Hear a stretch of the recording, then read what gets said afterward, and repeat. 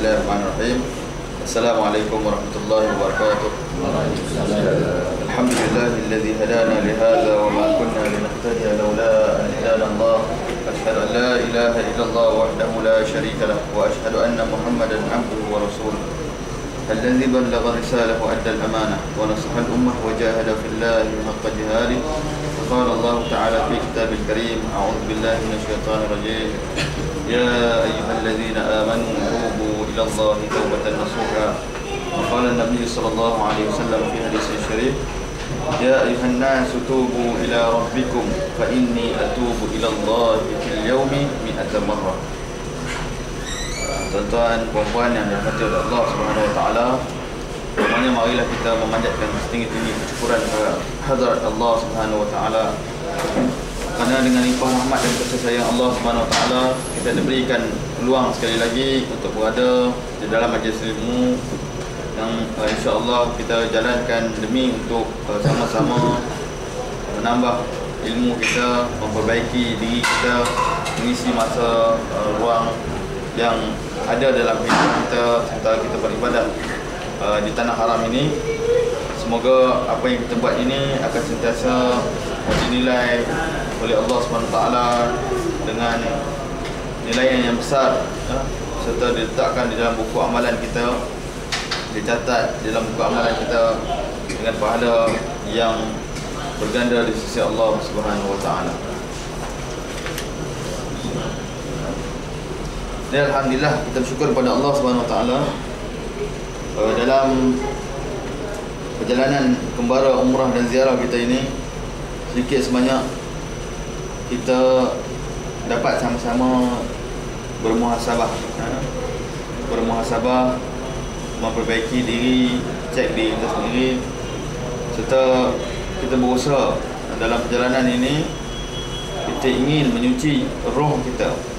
Ataupun dalam bahasa Arab dipanggil tazkiyatun nufus ataupun tazkiyatun nafs penyucian jiwa jadi perjalanan kita ini adalah perjalanan kembara rohani eh?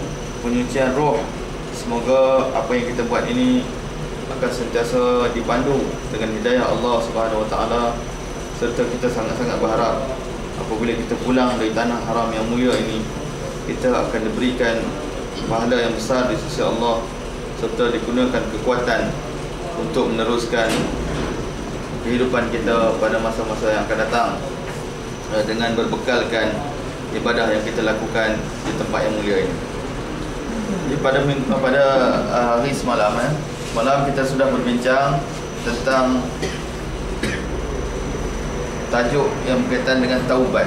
Eh, taubat serta sedikit uh, perkara yang berkaitan dengannya.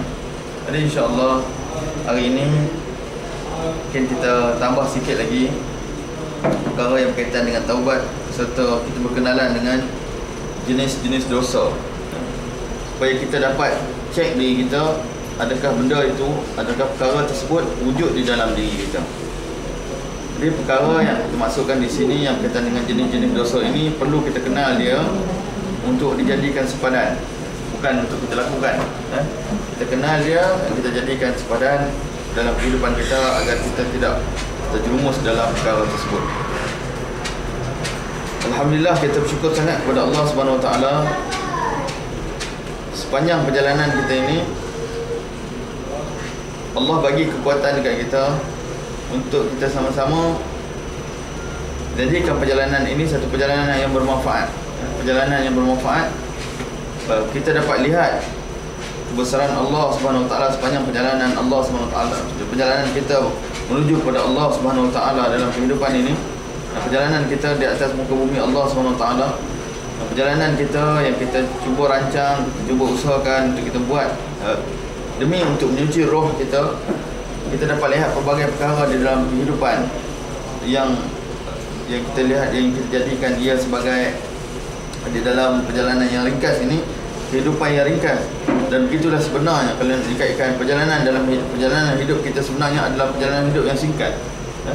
bukan perjalanan hidup yang yang panjang sebenarnya dia tidak lama tempoh masa kita umur kita yang Tuhan bagi sebenarnya 63 tahun ya? kalau ikut umur Nabi SAW kalau siapa dapat lebih Tuhan dah bagi subsidi jadi kalau dah dapat subsidi tu Ha, kita kena fikir banyak tu. Nanti kita kena check lah umur kita. Yang rasa belum sampai umur subsidi, jangan anggap dia akan dapat umur subsidi tu confirm dia akan dapat. Macam umur saya baru 31 ya. Yang ada baki lagi separuh lagi kalau nak ikutkan nak sampai 63, jangan anggap 63 ada 30 tahun lebih tu kita boleh dapat. Ya.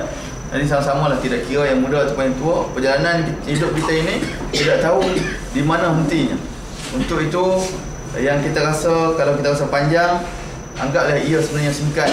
Eh, masa yang singkat itu harus diisi dengan uh, manfaat. Uh, perkara-perkara yang memberi manfaat kepada kita insya-Allah. Jadi uh, pada hari ini kita nak tengok sikit sebanyak lah perkara-perkara yang melibatkan kehidupan kita juga. Ya, supaya kita bincang tentang uh, taubat ya. Sedikit tentang uh, perkara yang melibatkan taubat uh, tajuk taubat. Perkara-perkara yang ada kaitan dengannya syarat dan sebagainya. Dan secara ringkas kita terang semalam dan kita tutup dengan satu hadis Nabi SAW yang Nabi cerita kepada kita. Hadis ini Nabi sampaikan dalam bentuk cerita yang Nabi kata bahawa Allah Subhanahu Taala itu sangat gembira dengan taubat hamba-Nya. Uh, lebih lagi daripada gembiranya seorang yang kehilangan sesuatu barang yang di dalam hidup dia tiba-tiba berlaku dalam peristiwa hidup dia. Ada barang hilang bila dia jumpa dia rasa seronok sangat ketahuilah bahawa Tuhan kita Allah Subhanahu taala Rabbul Kaabah Tuhan yang punya Kaabah yang kat sana. Tuhan yang punya Masjidil Haram. Tuhan yang punya diri kita ini. Allah SWT yang maha berkuasa itu. Tuhan yang memiliki kita, isteri kita, anak-anak kita Yang memiliki nafas yang kita sedang hidup ini Yang memiliki makanan kita. Allah yang maha berkuasa. Dialah maha agung. Dialah yang menentukan segalanya. Ha? Kita ini diminta untuk bertawabat Memohon keampunan kepadanya.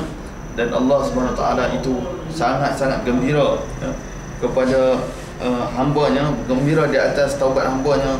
Lebih-lebih uh, lebih sangat gembira dia lebih daripada uh, dibandingkan dengan seorang seorang yang kehilangan sesuatu barang yang sangat dicintainya yang sangat diperlukan. Tiba-tiba bila dia jumpa barang tersebut dia rasa gembira. Dan Allah SWT adalah sangat lebih gembira yang berbanding dengan orang yang dinyatakan itu tadi. Itu yang kita bincang pada minggu lepas. Uh, maaf semalam. Uh, hari ini saya tambah sikit lagi tentang uh, sebelum bincang tentang jenis-jenis dosa kita nak bagi tahu bahawa taubat itu ada syarat-syarat dia ya? kita ulang semalam ya?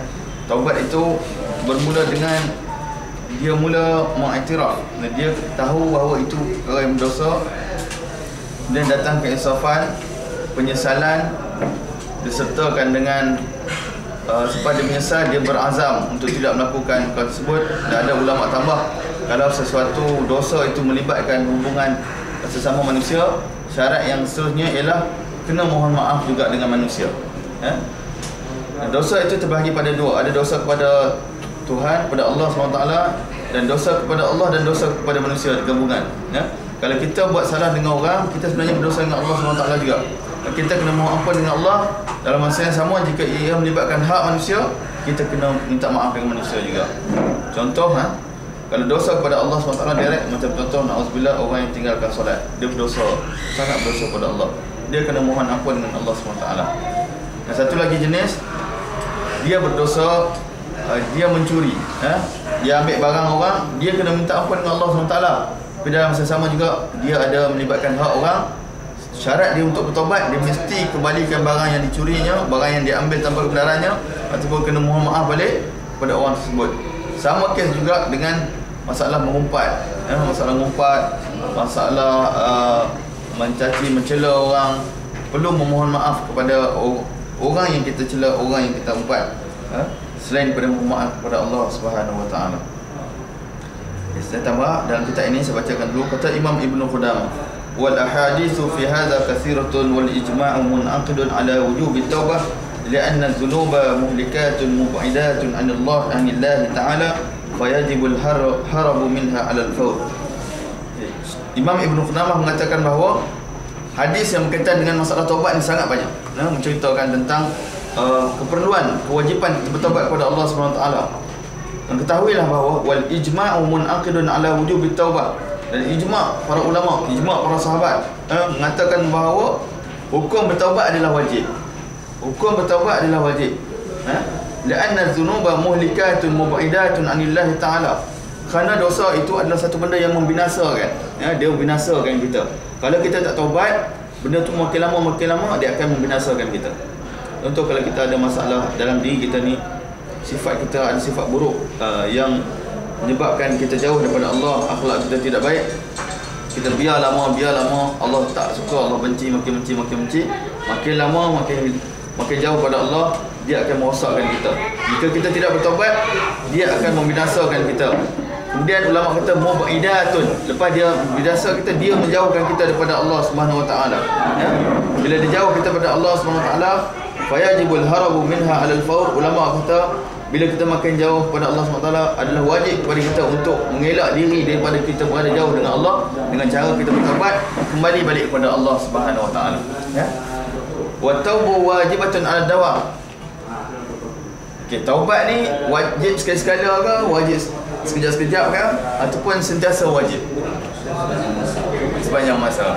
Macam faham je bahasa Arab saya baca tu. Dia kata taubat wajib ada dawam. Dawam ni sentiasa ha? Uh, sentiasa dia dalam keadaan wajib. Sebab manusia ni dia tak boleh confirm. Dia kata aku ni aku tak siap ada dosa. Dia kata pada cakap malah Alhamdulillah hari tu aku dapat lima waktu komplit completely Alhamdulillah. Um, siap ada dosa lah itu nak. Dia datang perasaan macam tu kan? Jadi itu sebenarnya datang perasaan macam tu itu adalah dosa. Sebab apa datang riak. Ha, riak tu dah dosa kan? Ataupun punya ujub. Ujub ni rasa bangga diri dalam diri sendiri. Apa ulama kata? Fa innal insana la yakhlu an ma'siyah. Dia kata sesungguhnya manusia itu tidak sunyi daripada maksiat. Ni bahasa orang dulu dia terjemahan tidak sunyi daripada maksiat maksudnya tidak terlepas daripada dia buat maksiat. Macam mana tu? Walau qala an ma'siyatil bil jawarih lam yakhlu anil hammi bil dhanbi bi qalbi. Dia kata kalau seorang tu selamat daripada melakukan maksiat daripada anggota tubuh badan dia maksudnya anggota tubuh badan dia selamat tak buat maksiat? Mata okey tangan semua okey. Tapi dia kata dia tak dapat jamin bahawa hati dia tu maybe barangkali hati dia juga sekali-sekala ada terniat nak buat maksiat. Contoh ha, kalau dia uh, terlintas di hati dia rasa sangka buruk dengan kawan dia itu adalah dosa ya? Sikit je. Ataupun rasa iri hati dengan kawan ha, tengok.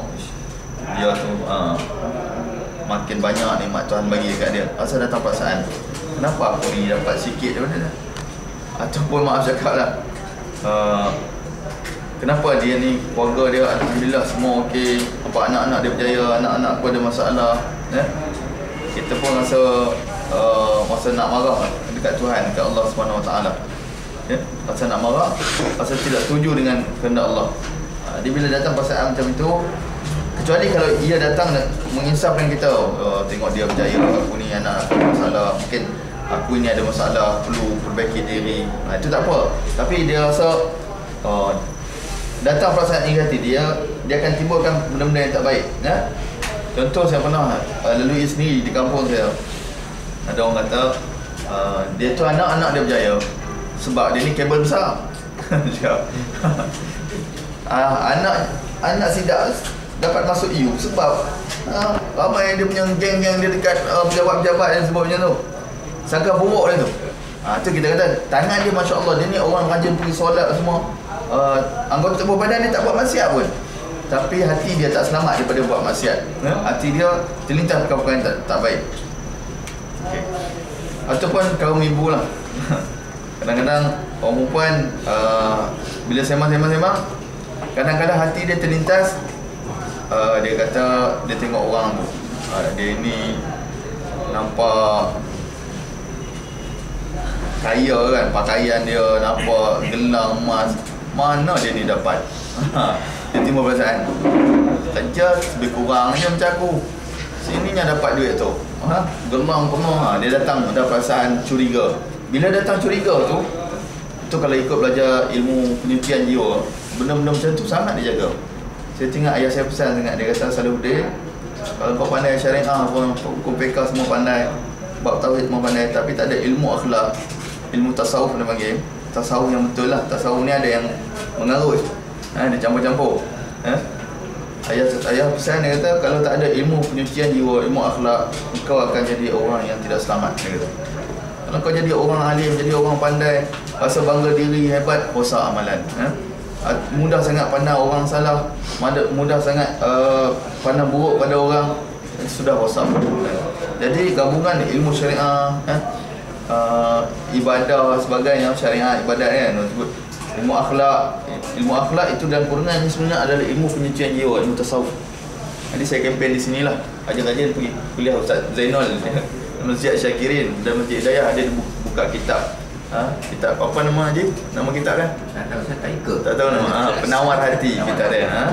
kitab Syekh Abdul Qadir Mandili kan bukan Abdul Qadir Mandili je kitab tu Mandili Abdul Qadir Mandili orang ni ha, penawar hati kitab tu bagus kitab tasawuf yang bersih daripada kitab tasawuf ni kadang-kadang dia ada campur-campur ha, benda-benda yang mengarut maksud saya zikir-zikir tak tahu datang pada Rasulullah eh?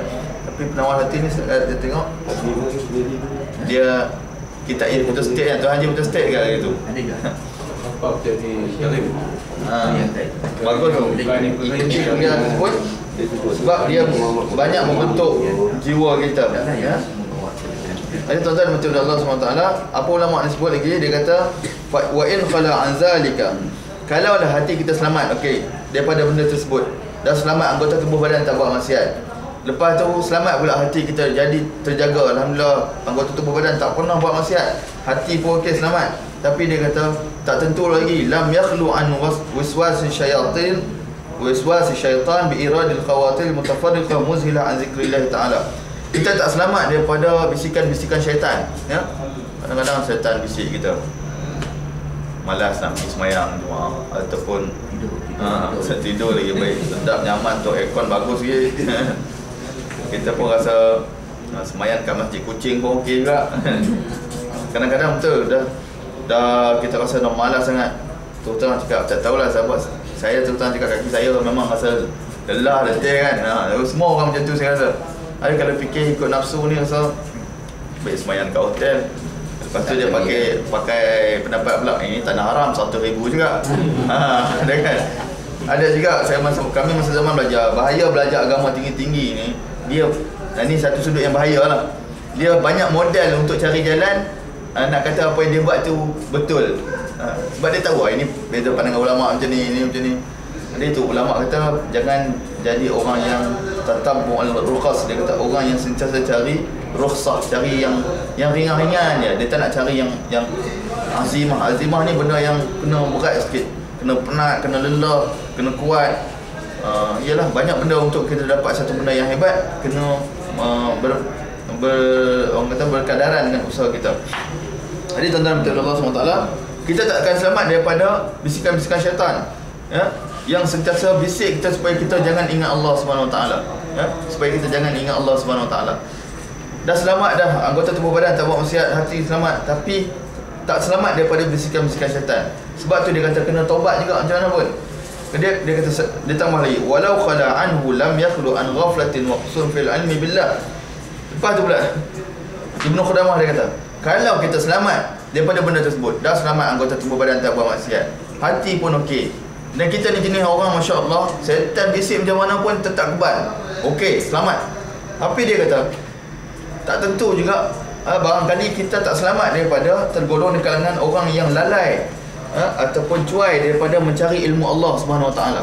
Rupa-rupanya Imam Ibn Qudamah mengatakan Usaha mencari ilmu ada satu benda yang mesti buat. Siapa yang tak buat Tak rajin cari ilmu Itu dikatakan sebagai Ada ciri-ciri dia berdosa. Sebab dia cuai mencari ilmu Orang yang tak cari ilmu Tak pergi usaha dapatkan ilmu Dia dinilai sebagai orang yang Ada ciri-ciri orang yang berdosa.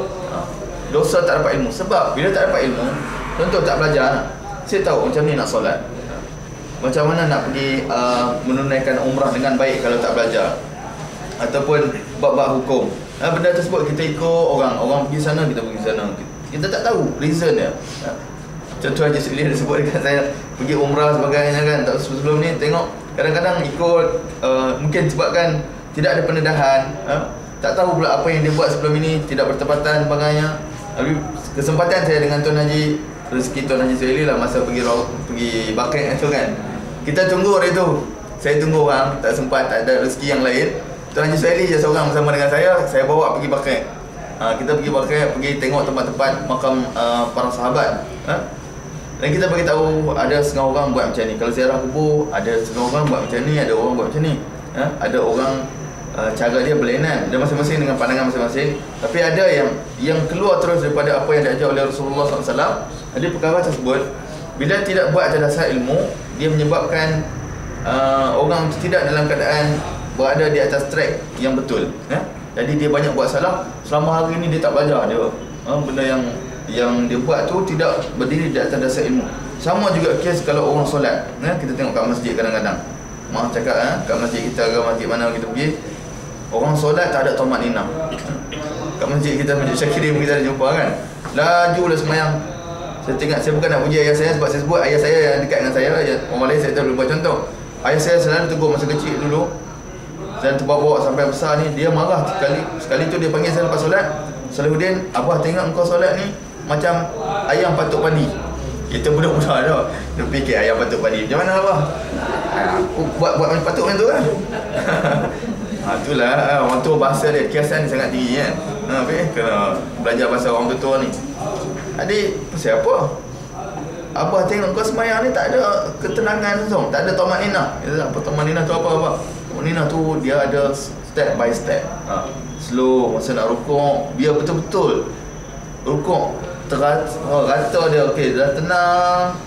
Dah baca subhana rabbiyal a'la subhana rabbiyal azimi wa bihamdi dah tiga kali baca dengan baik lepas tu bangun eh tidak pun biasa orang yang jadi jadi tak tomak ninah tu dekat eh tidak kalau perhati muslimin dan muslimat lah kalau bagian muslimat pun kau ibu pun bosan tengok eh semayang sampai dekat eh tidak tu cepat-cepat dia turun ha.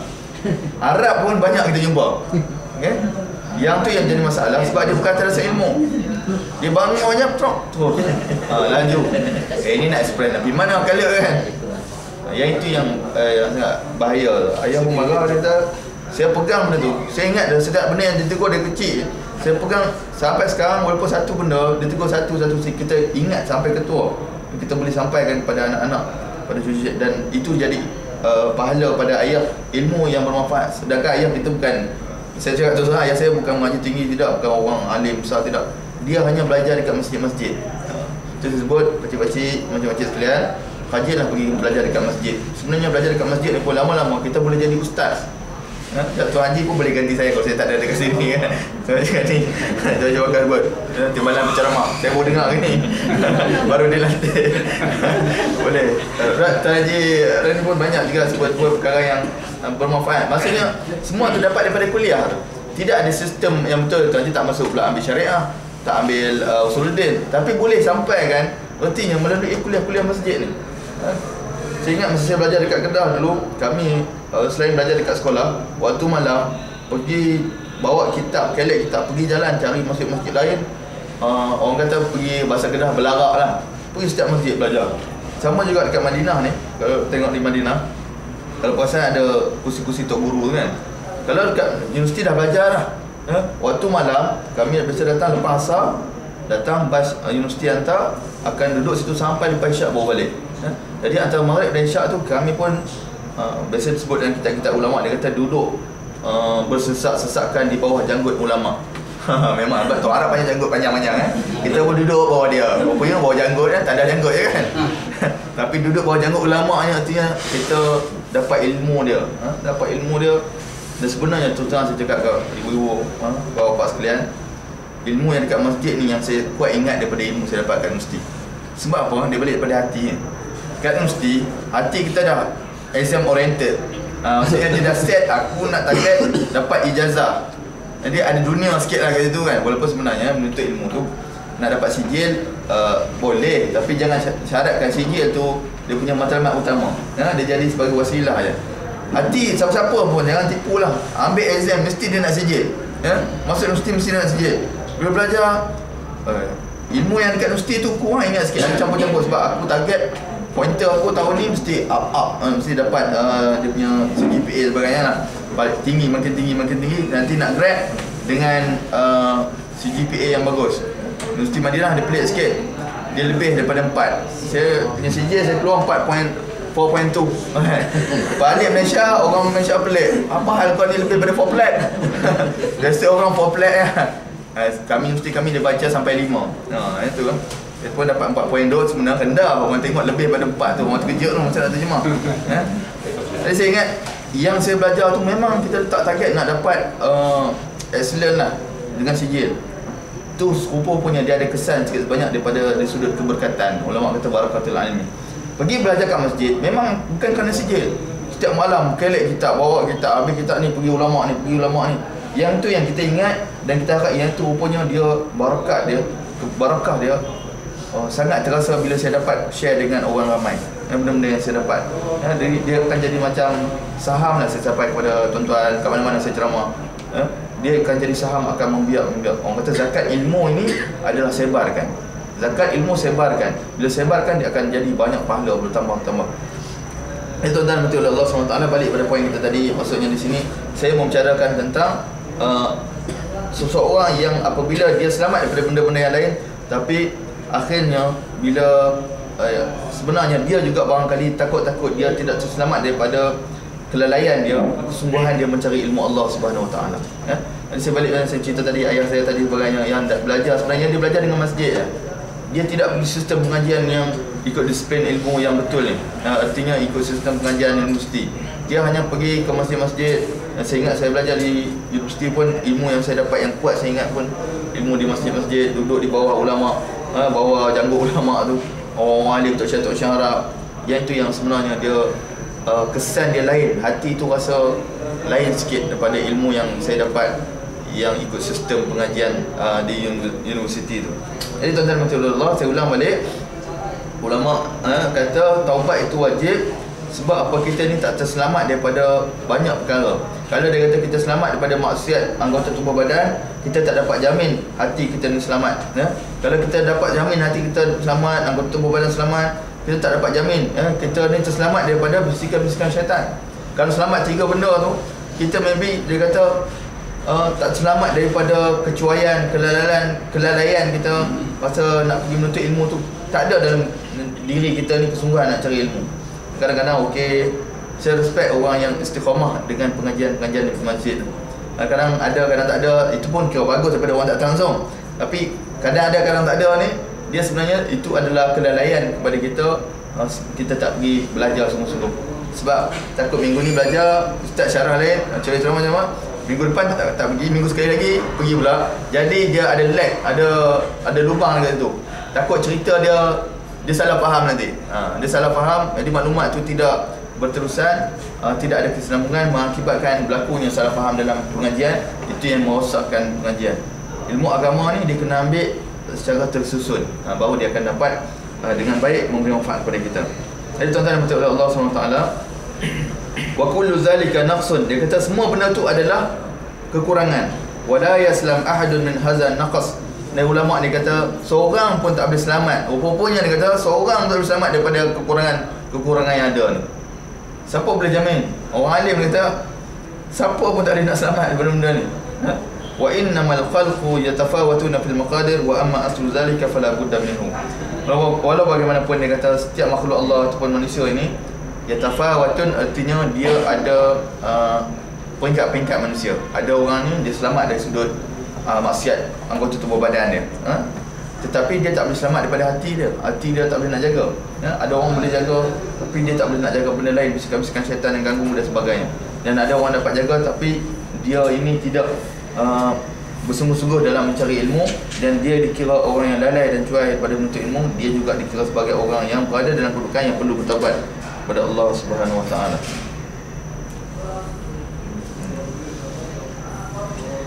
Saya baca hadis Nabi SAW Sebab itu Nabi SAW sebut Innahu la yughanu ala qalbi Fa astaghfirullah fil yawmi wal laylah Saba'ina marrah kata Nabi yang kita kasih sallallahu alaihi wasallam yang tidak jauh dengan kita di sini ya, jasadnya yang baru saja kita ziarah Nabi sallallahu alaihi wasallam. Baginda mengatakan semuanya hati kita ini uh, seringkali diselaputi dengan selaput-selaput ya, dosa. Dan Nabi kata fa astaghfirullah sebab itulah aku sentiasa memohon ampun kepada Allah Subhanahu wa taala Al-yawm wal laylah siang dan malam sab'ina marrah. Ini satu riwayat. Eh, sab'in artinya 70 kali. Riwayat yang sebelum ni kita baca 100 kali. Jadi Nabi kata hati kita ni selalu sangat kena uh, habuk-habuk dosa ya? kena benda-benda yang merosakkan jadi sebab itulah aku sentiasa beristighfar dan memohon keampunan kepada Allah Subhanahu taala agar Allah sucikan hati ini Nabi sallallahu alaihi wasallam ya kita ni lebih lagi lah. Kita lebih lagi sangat berhajat kepada pengampunan Allah Subhanahu taala. Nabi yang dah selamat dah tu Masya Allah yang rajin tahajud tengah malam Yang kakinya bengkak Solat tengah malam. Ha, Kalau ibu-ibu apa sekalian uh, Kita Flashback balik Apa yang kita lihat di Tempat Rasulullah SAW Masjid Nabawi Perasan tak kalau tengok makam Nabi tu Rumah dia tu tak besar mana. Makam Nabi itu adalah rumah Nabi SAW ha? dan dia tidak tinggi macam tu sebenarnya. Para tabi'in sebut uh, tak silap saya nama salah seorang tabi'in saya lupa nama dia dia sebut dalam satu kitab aku pernah masuk rumah Nabi SAW waktu zaman tabi'in tu rumah Nabi tidak diruntuhkan lagi. Waktu tu Masjid Nabawi masih kekal eh, dia eh. saya tunjuk dekat Tuan Haji Sari tanda dekat atas dia ada tulis Hajjul Masjidil Nabawi eh. ada dia punya tiang-tiang besar tu dia ada tanda hijau menunjukkan itu uh, had masjid Nabi yang sebenar ya. Rumah Rasulullah SAW Tiang dia tidak tinggi Masuk cukup-cukup kepala dia ya? Yang ada sekarang ni sebab dah ditinggikan Cukup uh, ringkas rumah dia Dan kadang itu Rasulullah SAW Beribadah di situ uh, Sentiasa bangun tengah malam Dan baginda uh, Kalau pasal dalam Raudah tu Ada tempat musal mihrab tu Mihrab tu ditulis musal dan Nabi SAW ya? Tempat Nabi solat uh, Tempat Nabi solat dan mengimamkan Jumaat ya? Dan ada satu lagi jangan tertipu Biasa Jumaat dia akan bagi satu lagi Kalau nampak ramai dia satu tempat Di sana yang baru dia buat eh, Dekat Raudah tu betul-betul Makam Musallah Nabi SAW Dan Nabi SAW Baginda Yang dah tentu Dah confirm Allah SWT ampunkan dosanya uh, Tetap juga bertaubat Memohon keampunan kepada Allah SWT Oleh itu siapakah Siapakah kita ini? Uh, Man nahnu min hazan Nabi SAW. Siapakah kita ini Berbanding dengan Nabi SAW Yang sangat berhajat kepada pengampunan Allah Subhanahu Wa Taala. Ya, kalau kita nak cek tadi banyak dosa-dosa kita yang barangkali uh, dia terkena dia tak kena pada badan, kena pada hati dan sebagainya yang mengakibatkan kita ini sebenarnya berada dalam kedudukan hati yang tersebut dengan dosa yang perlu di, dibersihkan setiap hari. Moga-moga dengan bersihnya sucinya hati kita akan dekat dengan Allah Subhanahu Wa Taala. Ya. Dan saya juga suka nak uh, nak highlightkan sini nak kemukakan dengan tuan-tuan sebab kita dah tengok tempat Rasulullah SAW ha? tinggal lagi sebab kita tengok dia dalam keadaan bentuk moden nak datang perasaan rasa sedih tengok kedudukan Nabi tu dia payah nak dapat dia kena datang ke sini datang daripada hati macam kat sini juga orang semayang depan Kaabah macam mana pun tengok orang tengok tak ada apa kotak besar eh, itu kan ha, itu yang problem kalau kita datang dia kena datang daripada hati cuba ha? orang tu cuba juga lawan bagi bagi hati ni rasa sangat bagi dia rasa kalau tak boleh, buat-buat boleh. Buat-buat. Kalau tak boleh nak nangis, Nabi kata fatabaraka. Buat-buat nangis. Bagi rasa ya Allah. Ha, lama kelamaan. Contoh Haji Bakar sebut, mula-mula betul Ustaz. Ha. Bila makin dekat dengan Kaabah, makin dekat dengan Kaabah, dia tak payah nak nak buat-buat dah. Dia datang sendiri. Datang perasaan tu dia rasa tak tahulah. Kita benda ni masing-masing boleh rasa kan. Dia datang sendiri benda tu. Ha. Itu sebenarnya menandakan tanda hati kita ni uh, duduk dia punya level mana. Lagi dekat kita dengan Kaabah, hati kita kita tak apa pun macam aku pergi kursus haji duk pusing Kaabah dekat Malaysia kan. Malaysia banyak Kaabah kan. kita duk pusing tak ada apa kan. Sebab tu saya pesan minta maaf kan saya kata salah tuan-tuan haji perempuan ajar buat masa tawaf tu kalau baca buku doa tu boleh baca. Tapi dari sudut penghayatan tu dia agak susah nak dapat ya. Lebih baik masa tawaf tu cuba datangkan masa tawaf tu pandang bawah aku ni hamba Allah yang lemah buat bertafakur astagfirullahalazim cukup dengan astagfirullahalazim pusing dapat yang tu pun kalau dengan pusingan tujuh kali dengan astagfirullahalazim tu pun sudah berderai mata kita tu lebih baik daripada kita buka satu dua tiga kadang-kadang saya tengok minta maaf cakap bukan salah benda tu ya? uh, maksud saya uh, dari sudut manfaat dia agak kurang apatah lagi kalau nak bincang di sudut hukum uh, dari kajian orang eh, kajian ini sekolah Islamic scholar kita buat kajian bahawa doa-doa yang travel buat minta maaf cakap saya bukan nak condemn mana-mana pihak ini terpulang pada ibu bapa sekalian untuk ambil pandangan ini ataupun tidak ya? Doa yang dibuat ikut pusingan itu sebenarnya tidak ada dalam hadis Nabi SAW. Mereka buat uh, mungkin ada pandangan ulama. Tapi kita tidak mengatakan benda itu tidak bermanfaat. Ha, jangan sebut macam itu pula. Dia bermanfaat bagi orang yang langsung tak boleh nak buat, nak baca kan. Tapi bagi kita, saya share saya pesan lah. Daripada kau terikat dengan doa, kau baca doa, kadang-kadang tak rasa apa pun. Kalau orang tu tak tengok makna, lagi susah. Kalau dia baca, dia tengok makna, uh, baca doa, dia pusing, dia tengok makna, dia dapat rasa perasaan tu, itu sangat baik. Tapi kalau tak boleh, saya bagi alternatif mudah ha? Kita tawaf, tawaf sunat kan. Kita pergi bermula start dengan Hajar Aswad, kita datang pesan aku ni hamba Allah SWT. Guna astaghfirullahalazim, astaghfirullahalazim. Ya Allah, aku banyak dosa ya Allah. Ha, cakap bahasa Melayu pun tak apa. Ya Allah, aku banyak dosa. Ampun dosa aku ya Allah. Tolonglah aku ya Allah. Aku ni susah hidup aku ni ya Allah. Aku perlukan bantuanmu ya Allah. Aku ada anak macam ni ya Allah. Aku ada isteri macam ni ya Allah. Aku ada masalah tempat kerja ya Allah. Bercakap dengan Allah. Ha, bercakap dengan Allah. Ya Allah, aku dalam keadaan tertekan ni ya Allah. Hidup aku begini. Aku di rumah aku dalam begini. Susah ya Allah. Ha? Bagai macam-macam cabaran yang aku hadapi. Aku dalam keadaan yang sangat berhajat kepadamu ya Allah. Kita bayangkan ni kita ulama sebut antara perbandingan boleh dibuat ibarat kita jatuh daripada satu gunung yang tinggi terjatuh tiba-tiba kita terpaut satu dahan kayu yang sangat rapuh ya? ha, kita nak bayangkan situasi itu. Jatuh daripada gunung yang sangat tinggi jatuh tiba-tiba kita Alhamdulillah terpegang satu dahan kayu yang ada tepat tepi gunung itu dan dahan kayu itu pula dalam keadaan sangat rapuh. Di bawah sana jurang yang sangat dalam. Ketika itu kita sangat berhajat kepada kuasa yang ajaib itu kuasa Allah SWT. Tak ada kuasa lain yang boleh bantu kita takkan Superman atas selamat kita kan? Mesti Allah SWT kalau kita jatuh ya Allah matikan aku. Jatuhkan aku mati dalam keadaan beriman padamu ya Allah. Dengan syahadat la ilaha illallah. Bila kita berpegang dekat situ uh, suasana uh, bila kita dalam keadaan demikian situasi kita sangat banyak kepada Tuhan sangat kuat. Sebab tu kita mulakan dalam keadaan tawaf kita lahirkan aku ini berhajat padamu ya Allah. Ya Allah aku hamba-Mu yang lemah. Sekali-sekali pandang Kaabah Kaabah tengok kita dengan Kaabah berapa kali ganda besarnya Kaabah ya? kalau tengok langit pula atas Kaabah tu direct Baitul Ma'mur malaikat dia tengah pusing kat atas ya?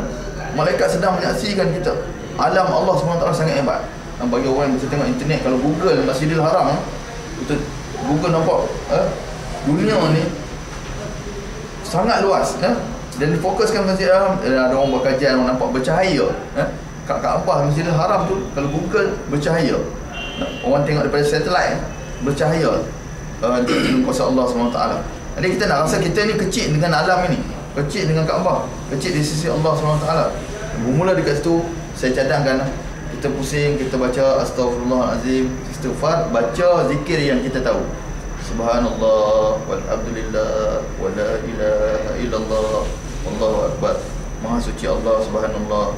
Walhamdulillah segala puji bagi Allah Alhamdulillah wallah subhanallah alhamdulillah wala ilaha illallah. Tidak ada tuhan melainkan Allah. Allahu akbar Allah maha besar. Yang penting kita buat dalam keadaan kita menghayati. Kemudian uh, satu ni saya fikir doa yang betul-betul sahih yang Nabi bagi tahu yang ini kalau ada dalam hukum mana memang betul lah. Daripada rukun apa tuan-tuan? Yamani ke? Ha ajak surat ha baca rabbana atina fid dunya hasanah fil akhirati hasanah wa qina azabannar. Ulang-ulang. Baca jangan dia jadi macam kita selalu baca doa. Maaf cakap sorry tu saya untuk diri saya juga. Kita dah biasa sangat baca Rabbana atina fid dunya hasanah tak ada rasa apa. Betul tak? Nak tutup doa mesti orang Rabbana atina fid dunya hasanah akhirati hasanah wa qina ha mesti tu imam main laju. Patutnya yang ujung tu kita cuba baca perlahan dan kita ulang wa qina azabannar. Sebab nak minta selamat daripada neraka ni tapi biasa yang ujung ni maksudnya doa tahlil lagi laju Rabbana atina fid dunya hasanah wa fil akhirati hasanah wa qina azabannar ha azabannar habis sallallahu alaihi wasallam habis selamat. Eh, sepatutnya yang itu rupanya doa yang sangat hebat sebab Nabi kata Rabbana atina fid dunya hasanah. Ya Allah, saya terjemah walaupun ibu bapa sekalian tuan-tuan dah tahu, tapi terjemahan ni nak cuba rasakan bahawa doa ini adalah doa yang sangat hebat. Rabbana wahai Tuhan kami atina berikan kepada kami fid dunya dalam dunia ini di dunia ini hasanah kebaikan. Ha? Saya dah dapat dah hasanah ha, ada seorang tak tahu nak tambah hasanah ya Allah alam Ya Allah berikan kepada aku kebaikan Hasanah artinya kebaikan Saya dah dapat orang dah ha. Tapi kita dapat kebaikan yang sangat baik daripada itu Si saya nama Hasanah untuk mana Perempuan nak beritahu lah. Abang Rani dah heran. Macam tak kenal. Okay. Hasanah kebaikan. Kebaikan Hasanah ni eh, Saya nak terjemahkan Bukan kebaikan terjemahan biasa bahasa Melayu tu. Kebaikan. Baik. Baik je. Ha. Hasanah sebut ya Ulama hurai ni dalam kitab-kitab hadis. Hasanah Artinya kebaikan yang sangat banyak. Kebaikan yang sangat hebat. Ya? Tuhan bagi Kalau Tuhan bagi kebaikan dekat dunia ni Tuhan bagi dah baik kita Alhamdulillah dapat uh, Tubuh badan yang baik Sihat tubuh badan selamat Pada penyakit-penyakit kan? Alhamdulillah Tuhan bagi kekuatan dapat datang sini Alhamdulillah sihat anggota tubuh badan Hati kita selamat Hati kita baik Hati kita tak pernah rasa dengki kat orang Hati kita tak pernah rasa susah hati kat orang Hati kita tak pernah pun rasa uh, Entahlah kalau nak sangka buruk ni orang tak ada Balik rumah lepas solat isyak tu dah buat urusan kerja apa Dah nak tidur sebelum tidur tu Hati ni tak pernah terfikir. Geram betul lah dekat orang sebelah tu buat aku ni. Geram betul lah dekat kawan aku tempat kerja tu. Uh, Sakit hati dekat orang tak ada. Ada seorang sahabat Nabi. Uh, uh, Nabi cerita uh, Seorang sahabat ini dia dia adalah calon ahli syurga. Bila dia selidik-selidik sehingga cerita Rupanya dia ni tidur dalam keadaan Tak pernah sangka buruk dekat orang Tak pernah ada masalah dengan orang. Ha? Dia tidur, dia biasa Ibadat macam biasa Dia bukan jenis orang tu tak wali Hebat zikir 300 ribu, 400 ribu Tak. Dia bi- biasa je. Tapi dia sebelum tidur Dia dia istighfar, muhasabah diri dia dan dia aku ampunkan semua dosa semua orang aku maafkan semua orang. Hati dia dapat hasanah kebaikan hati dia. Ha? Dan dapat kebaikan dalam rumah tangga dia isteri dia alhamdulillah anak-anak dia hasanah ha? anak-anak memberikan kebaikan di dunia ni rezeki yang dia dapat alhamdulillah gaji dia dapat dan dia bayar zakat ha? tak ada masalah kenderaan dia pun alhamdulillah ha? tidak ada uh, ciri-ciri kecurian dan sebagainya curi kereta orang ke tidak ha?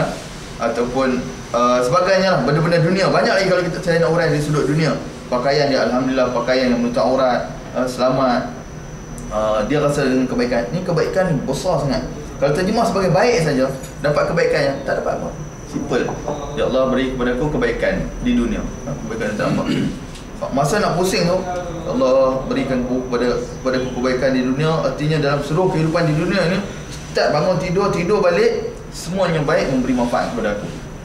Walaupun kita tidak kaya walaupun kita tidak ada banglo yang besar walaupun kita tidak memiliki saham yang banyak tapi hati kita tenang kita dapat kebaikan tu. Alhamdulillah aku tenang. Masalah tak banyak. Masalah biasa kehidupan ni biasa lah masalah kan. Tapi tidaklah sampai tertekan ya. Macam ada kes ada setengah sekolah tempat kita dah di Bintulu ada kalangan guru yang tertekan masalah hutang banyak alung jari. Ada di kalangan ya, orang Islam yang saya tengok uh, berlaku satu kes. Dia ni kesian lah. Uh, saya tu haji ada sekolah, sekolah lah dia tertekan dengan kehidupan hutang alung datang guru besar pun kena kena apa ugut dengan alung juga. Guru besar pun dah takut. Sebab dia ni bermasalah. Ada pula masalah dengan guru dia cerita guru lah. Bukan buka ayat ni sebagai ambil uh, pengajaran. Masalah dia ada bini pergi cari bini orang. Ha. dia tak dapat hasanah kebaikan dalam dunia. Ha? kalau Ustaz selalu dia cari hasanah lain tak apa kan dengan izin okay. dan masalah dia tak hati dia tak tenang. Tapi kalau nak tambah macam Haji Daud tambah tiga sebab hati dia dah tenang kan. Dia punya income pun bagus. Kita income pun tak bagus kan. Abang Rani kalau income bagus nak tambah boleh tak ada masalah kan kami dah tambah nasi lah. Tengok tu zikir kuat tu. Rumah sejuk lah duduk bawah ikan ha. Okey kan Ha. Jadi tuan-tuan Allah SWT Ni nak cerita Hasanah. Hasanah ni gembira. Ha? Kalau nampak relax Jumpa Tuan Haji Saya jumpa dekat pintu Nampak relax Tak ada muka Muka macam orang bertobat ya. Bertobat betul Tapi kat pasar pun Macam muka orang bertobat yang Pendidikan Siapa ni? Saya bertobat Sejak dari Tanah Haram Ustaz. Susah kan Nampak tu ada problem lah tu Dia tak tenang. Jumpa kat mana senyum Masya Allah Tak masalah kalau ada masalah macam biasa dia tetap masalah. Tapi bila bersama dengan masyarakat uh, lain keadaannya ha? masing-masing kita ada masalah. Itu saya nak cerita hasanah kebaikan di dunia ini satu ketenangan yang Tuhan campakkan kepada hati orang-orang tertentu saja Tuhan bagi. Ha? itu sebab itu tuan-tuan kita minta dengan Tuhan. Dengan Allah SWT ada ulama kata kalau kita tak baca doa lain kita baca doa ini dah cukup dah yakfina dia. Kata sebab dia dah, dah kumpul semua benda dalam satu doa ni kebaikan dunia. Kemudian kita kata Rabbana atina fid dunya hasanah wa fil akhirati hasanah dan wa fil akhirati dan di akhirat juga aku juga dapat hasanah dapat kebaikan. Apa hasanah di akhirat? Hasanah paling besar di akhirat ialah ha? dia dapat dipilih bersama dengan orang-orang yang terpilih berada dalam syurga Allah Subhanahu wa taala.